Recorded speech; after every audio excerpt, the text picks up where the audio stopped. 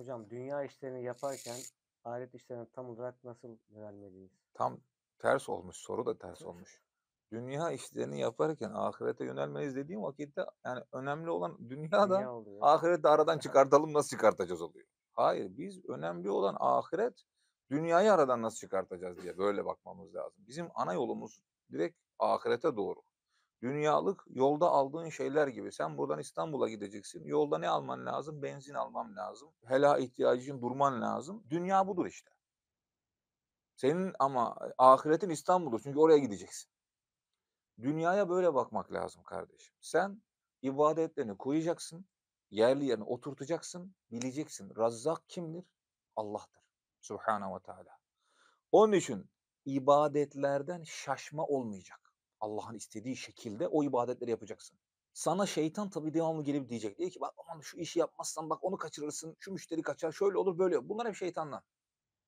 Neden? Çünkü sen Rezzak olanın Allah olduğunu biliyorsun kalbinde. Ben onun huzurundayım. Namaza gittim, camiye gittim, değil mi? Camide namaz kılıyorum. Kim için? Allah için. Subhanahu ve Teala.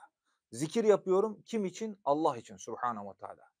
O haseple Allah için yaptıklarım dünyadan beni alıkoysa veyahut da biraz geriye çıksa hiçbir ziyan olmaz.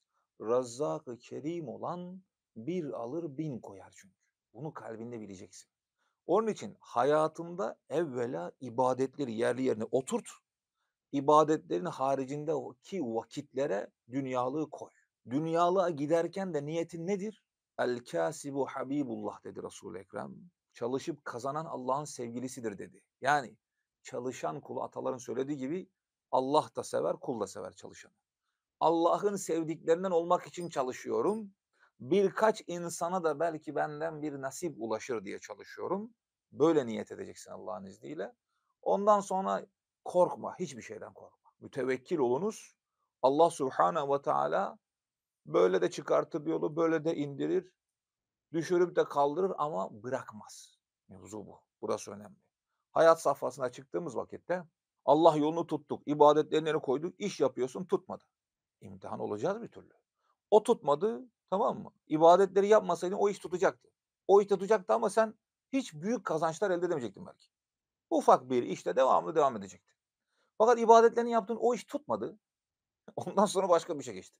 O da tutmadı. Ondan sonra başka beşinci işte veyahut da yedinci işte bir kar ettin. O ilk işinde ömür boyu çalışsan o kadar edemezdin. Bakın bir ibretli hikaye. Amerika'da adamın biri büyük bir teknoloji şirketine tuvalet temizleyicisi olarak alınacak. Başvuruyor. Dolduruyorlar bütün bilgilerini vesaire. Tam alacaklar. E-mail adresini ver diyorlar. Diyor ki benim e-mail adresim yok. Aa nasıl yok?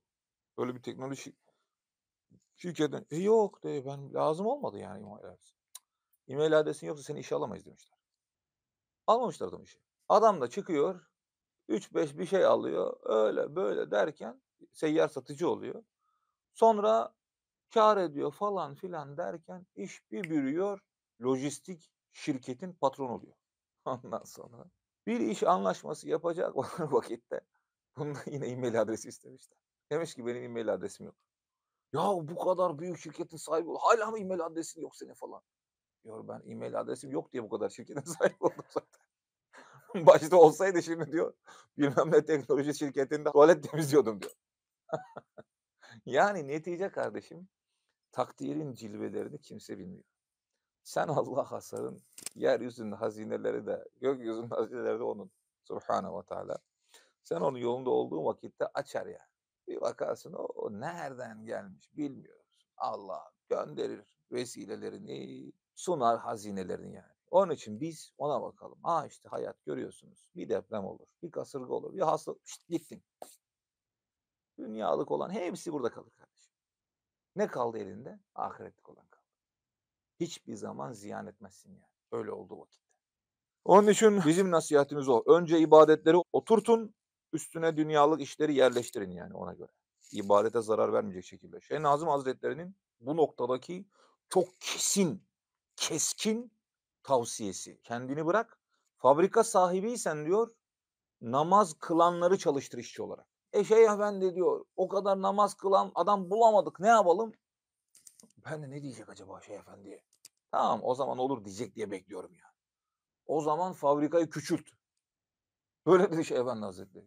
Fabrikayı küçült, sadece namaz kılanları çalıştır. Allahu Ekber. Evliyanın sözü bu.